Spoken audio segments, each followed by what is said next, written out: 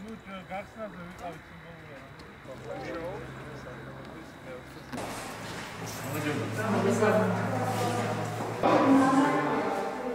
სიმბოლური მუნიციპალური განვითარების ფონდი საგანმანათლებლო ინფრასტრუქტურის პროგრამის ფარგლებში ახორციელებს 67 ახალი სკოლის მშენებლობას და 100 სკოლის რეაბილიტაციას.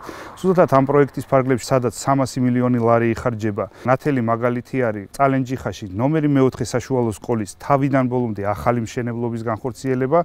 არის 150 ბავშვზე გათვლილი, აშენდა ახალი სტადიონი, მოიწყო ყველანაირი ინფრასტრუქტურა, რომელიც აკმაყოფილებს თანამედროვე სტანდარტებს, არის 12 საკლასო ოთახი, ასევე განკუთვნილი არის კაბინეტები, როგორც მასშტაბლებლებისთვის, ისევე ექიმებისთვის, არის ადაპტირებული შშმ პირებზე. პროექტი დაფინანსებულია სახელმწიფო ბიუჯეტით და შეადგენს 2.3 მილიონ ლარს. ჩვენ ახლა იმყოფებით წალენჯიხის მუნიციპალიტეტის ნომერ 4 საჯარო სკოლაში. სკოლა წლების განმავლობაში იყო ამორტიზირებული, პრაქტიკულად აქ სწავლა შეუძლებელი იყო. მუნიციპალური განვითარების ფონდის დაფინანსებით 2019 წელს დაიწყო ახალი სკოლის მშენებლობა რომელიც სრულად არის ადაპტირებული სრულად არის მორგებული იმ საჭიროებებზე რასაც ითვალისწინებს თანავედროვე მოთხოვნები.